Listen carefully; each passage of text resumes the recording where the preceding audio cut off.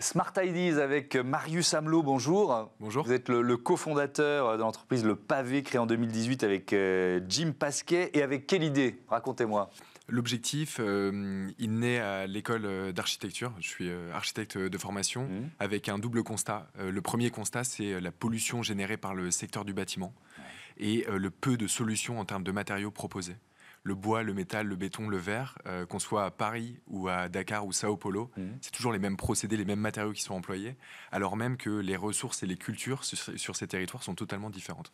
Et donc la volonté, ça a été de, proposer une nouvelle manière d'aborder la matérialité en architecture euh, par rapport aux nouveaux enjeux, notamment environnementaux et sociaux, pour créer des matériaux qui soient durables. Donc ça, c'est le premier constat. Et le second constat, en fait, qu'on vient mettre en face, c'est un constat qu'on peut tous faire, pas besoin d'être architecte, euh, c'est la prolifération des déchets plastiques partout dans le monde et euh, les problèmes que ça pose d'un point de vue environnemental, au niveau de la biodiversité, au niveau de la santé et au niveau aussi des émissions de CO2 qui sont euh, générées. Donc vous êtes dit, il faut qu'on récupère ce plastique pour en faire un matériau de chantier, c'est En fait, on s'est dit, d'un côté, il y a un besoin de réinventer de nouveaux matériaux, et de l'autre côté, on engage énormément à chaque seconde. Et de ces deux problèmes, la volonté, ça a été de faire une solution.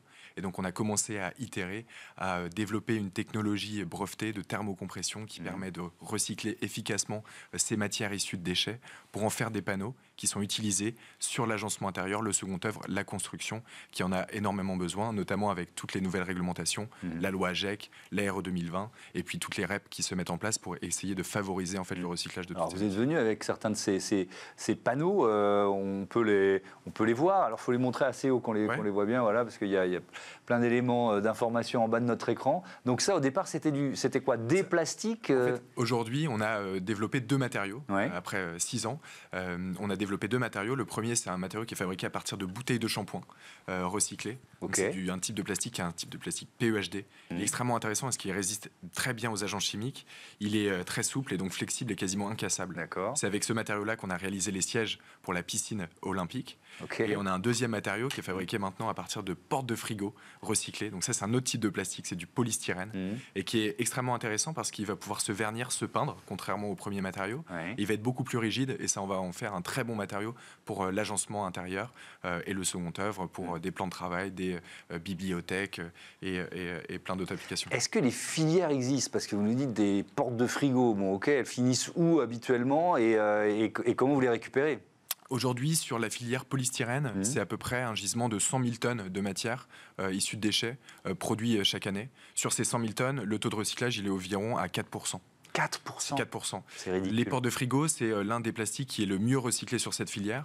Nous, ça nous a permis de développer ce premier matériau. Et ce qui est intéressant avec notre procédé euh, industriel, c'est qu'on peut venir mettre des matières qui sont encore plus euh, impures et difficiles à recycler, notamment les pots de yaourt. Et là, ça représente 60 000 tonnes sur les 100 000 qui ne sont pas recyclés aujourd'hui. Et c'est notre volonté de développer des matériaux mmh. durables à partir de toutes ces matières. Et sur le PEHD, c'est 600 000 tonnes de matières qui sont produites chaque année, donc de déchets.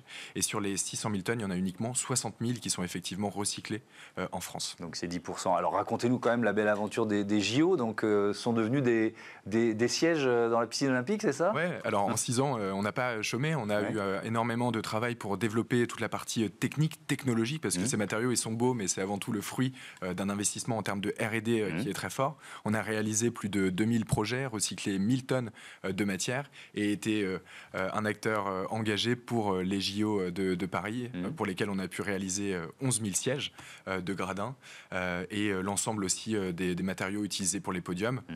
Cette histoire, on l'aime bien parce que c'est exactement ce qu'on souhaite apporter à l'échelle nationale et internationale, c'est de démontrer en fait qu'on peut faire de l'économie circulaire à l'échelle à l'échelle industrielle. Et aujourd'hui, ce qui manque selon nous et la volonté depuis le départ, c'était de se dire il y a une problématique qui est énorme, celle du des déchets plastiques. Il y a un secteur qui est immense, qui est celui du secteur du bâtiment. Mmh. Si on ne propose pas une solution qui, euh, qui est à l'échelle, qui est scalable et qui peut euh, être un élément de réponse à l'échelle globale, ben en fait, on va rester dans le greenwashing et puis mmh. ça va être décevant en fait pour l'ensemble des utilisateurs. Et là, avec le projet euh, des, des jeux, on a montré qu'on était en capacité de créer de l'économie circulaire à l'échelle territoriale. Sur les 100 tonnes qui ont été recyclées pour ce projet, mmh. ça a été 80% du plastique qui provenait directement d'Île-de-France.